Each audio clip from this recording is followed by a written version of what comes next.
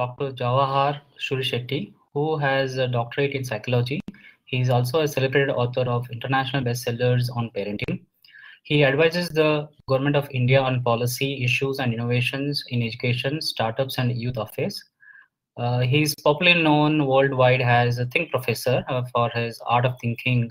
He engages uh, with 2.4 lakh children and parents across the globe through UN expedition called Explora, exploring the minds of youth. Uh, Dr. Jawahar Surisetti, thanks for uh, agreeing to talk to us and have a conversation on something to do with a very specific um, uh, some set of questions we want to discuss. And welcome to the conversation. Thank you. Uh, sir, I would like to ask you a uh, question which I think um, we probably need to address to a lot of parents mm. is why do you think we need schools? I'm talking especially about a brick and mortar kind of schools, the physical schools. Uh, see, I cannot uh, completely write off uh, brick and mortar schools, though I have not experienced them. But the basic reason why I propose that we should have brick and mortar schools is one that the touch is uh, the sensation of touch is uh, not present on any other platforms apart from brick and mortar. Uh, the touch and smell these are the two things which are very important for learning and that's why the brick and mortar schools. Okay. So do you see anything else in terms of learning wise? Uh, learning there is uh, uh, something uh, uh, which which is again a part of the emotional intelligence where uh, suppose a pat on the back is there. A virtual pat on the back is not as effective until i feel it on my back. So there is a great amount of motivation if there is a pat on the back. So learning becomes better Okay. But what are in terms of outcome, the children who go out of schools and then they see their future in terms of it. So do you think the schools, brick and mortar format of schools, physical schools will make difference? I, I don't think so. Uh, in fact, in many cases, the brick and mortar schools do a lot of harm to the children uh, in the terms of uh, the very old traditional methods of learning which are not fit for today's children. So hmm. uh, they, they might be fit for today's teachers, uh, hmm. which are a generation older. But for today's children, uh, it has to be something which is uh, fit to their ecosystem and not uh, fit to the ecosystem of the school administration or the teachers. But that is not usually the view of the schools. And that is the reason why the, when the learning outcomes of the children as they go out of school uh, are compromised. Mm-hmm. mm-hmm. Yeah, now I to see your background, uh, you have come with a combination of learning process that could be I could term them as an homeschool, an alternative school, or self-learning. Uh, mm-hmm. Because uh, some of examples which you have given us in some of your previous talks, I understand that you learned English through seeing an alphabets of movie uh, yeah. screen titles and things like that, like Dawn as one of the examples mm-hmm. which you give. Uh, so, do you think such learning requires a structure for early education? Uh, yes, yes, uh, it requires the. Uh, mine was by chance; it was not by choice. So, in uh, learning uh, which is unstructured or which is out of school, there is a structure required because there is a scientific way in which we, we learn. there are processes to be put in place. there are also sequences. There is sequential learning happening, and also there is a differential learning. Uh, so uh, in in my case, somehow all things fell into place, but that's a chance. Uh, we will need to structure the unstructured learning out of school uh, to be able to get the outcomes desired to match the school learning or at least uh, uh, to give the desired minimum outcomes that are required for passing out of school. Okay, I see. Now, assuming that what you're saying that the structure is required either it happens at school or at home or a combination of various other people involved in this. Uh, because of pandemic, their parents are trying to explore homeschooling or trying to teach children at home. Uh, but the challenge these parents are who have come from a structured learning, uh, which are physical contact of schools, uh, learning in a brick and mortar kind of format. And they have very limited understanding how do they go about trying to help the child at home. And they are in search of structure, always uh, trying to help the child. So your thoughts on the same? Yes, uh, you are right in the context that parents are conditioned to see the brick and mortar kind of learning happening in school. Uh, it is to their convenience also, I am being very blunt. Uh, the convenience is that they get their time for themselves. if the, when the children go to school, apart from the learning outcomes that, are, that happen in the school. So what has happened now is uh, the parenting that is happening now is uh, that uh, we have tried to outsource school education to the schools. Earlier, it used to be a combination of home and school. So we've uh, outsourced it completely to schools and whatever little time is left, we have uh, uh, outsourced it to tuition centers. So the parent has lost habit of uh, being a part of the learning of the children, teaching learning process. Earlier, it used to be maybe our parents would, sit with us and uh, do something, but uh, we've lost touch. So in a pandemic kind of situation where you're locked down in your homes, uh, the parents are finding it very difficult to deal with uh, uh, the child at home, seeing him all the day, and they're not getting the time, uh, which is a byproduct. So, having said that, uh, the conditioning of our parents is, and the teachers also, is that online learning or learning which is not happening in school is actually not learning. That satisfaction from within uh, does not come. And that is why we see in India online courses in schools uh, do not do very, very well. Even in tuitions, we don't see online tuitions doing very well. Uh, so this is something to do with the conditioning of the parents and the way they have been brought up, the ecosystem, etc., and nothing to do with learning actually. Uh, the Mm. child may pace himself uh, in an online platform. Uh, he has a choice of uh, picking up the best teachers uh, from across the world. And there are many other advantages on online learning which might not. He got get stuck to a teacher. If the teacher is not very good, he might, the learning outcomes might not be as good. So these are all problems happen in school, and uh, still the parents think that uh, uh, online learning is not learning at all, and that is the reason they yearn for sending the children to school. Uh, more so when there is a pandemic and there is a conflict between uh, the child's health and uh, a school, they are ready to compromise the learning uh, without uh, sending them to school, but they crib about the online learning platforms, uh, the addiction of mobiles, etc. Yeah, but there's also a split of opinion in terms of online learning recently. I'm seeing like government of Karnataka announced yesterday in, in, in, in terms of order saying like uh, till grade five there won't be any classes. But there are parents who want to have classes online because they feel that the child will waste time sitting watching television or playing games on mobile, and we won't be able to do anything for the child sitting at home all the time. Your thoughts on that? Yes, that is what I was saying. See, uh, one of the major reasons is not learning is because the parent does not find time for himself. Uh, so this is what I have said. So I would like to have something for the child so that he is engaged in the learning process rather than not going to school and not having anything. Uh, but but uh, I see in this situation we should not ban uh, online classes or anything. Maybe the structure of learning uh, for uh, primary schools and early years should be changed. That's okay.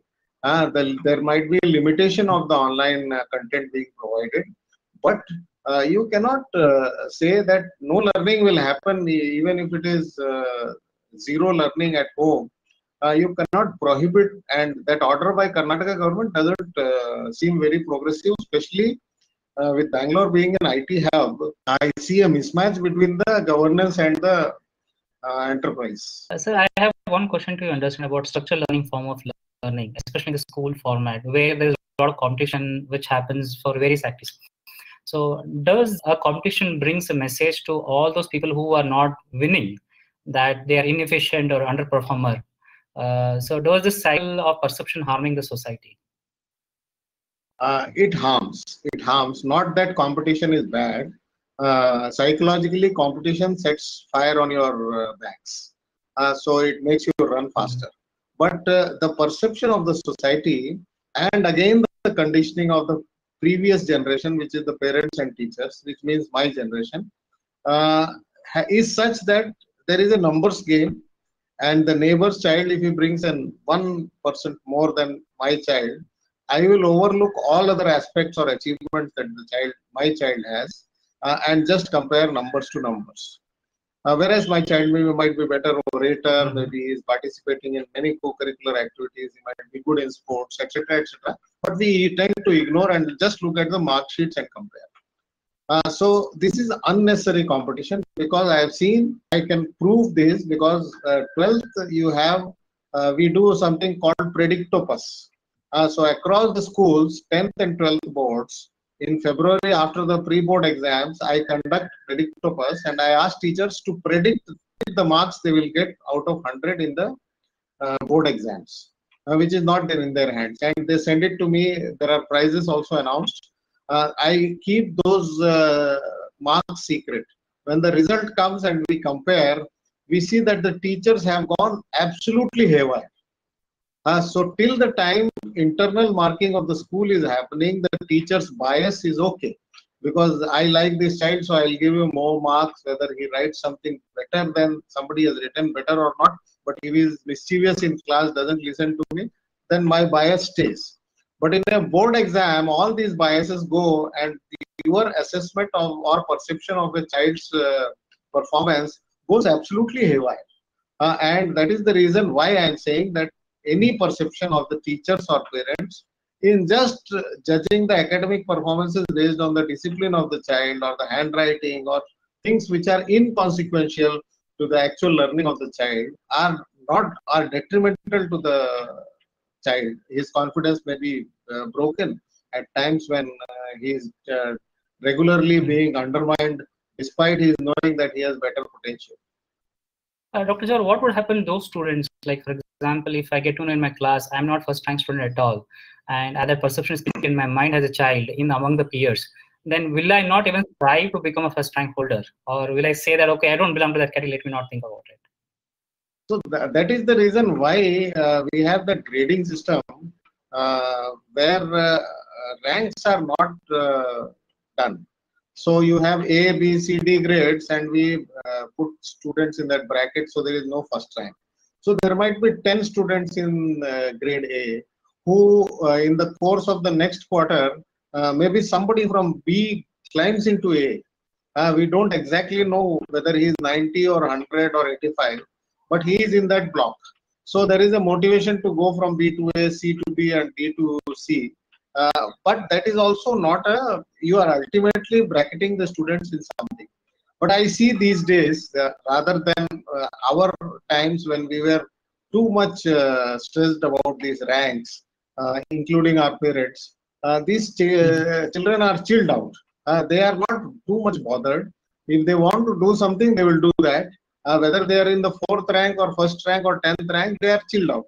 So it's a learning experience from these children for the parents uh, that try to be as chilled out as them uh, instead of trying to demean their efforts. Uh, and not, motivation is okay, but labeling by in, uh, by teachers in the classroom uh, and demeaning the efforts of the children because my neighbor's child is better by the parents are two major factors which demotivate the children which again does not demotivate this generation because they are out.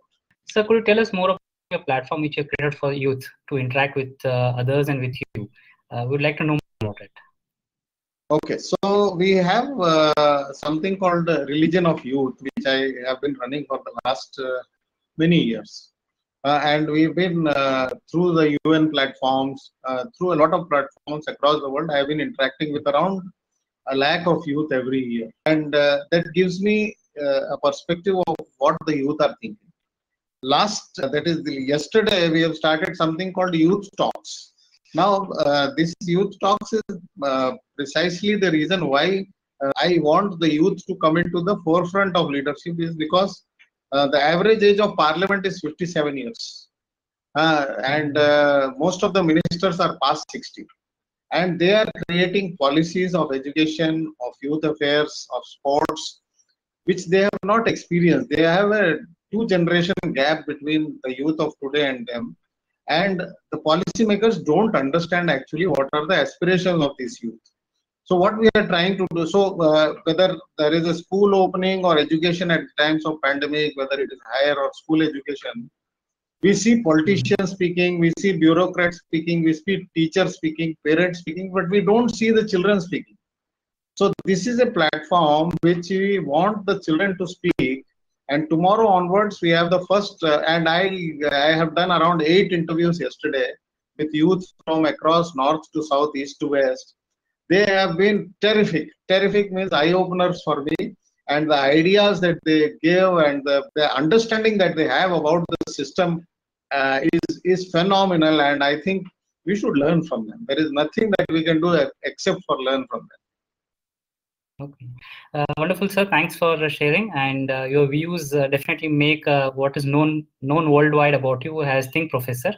And uh, thanks for your uh, insights on some of the interesting questions. I know they're not easy for giving an yes and no, typically a structured outcome.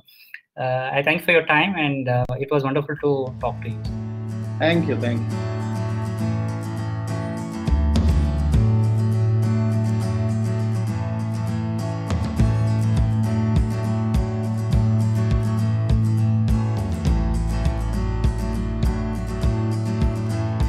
QtLearn is offering live, interactive, fun online sessions.